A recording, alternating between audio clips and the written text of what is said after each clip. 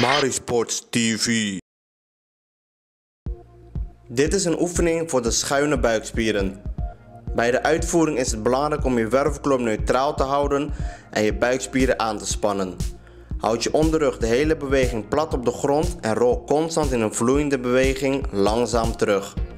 Je ademhaling is daarbij erg belangrijk. Bij naar links of naar rechts draaien blaas je hoorbaar uit door je mond.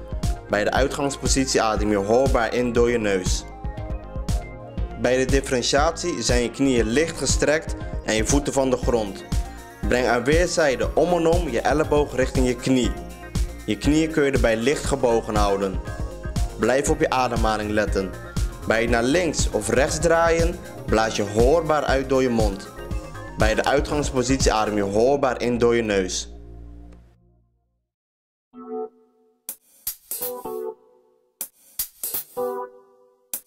Peace.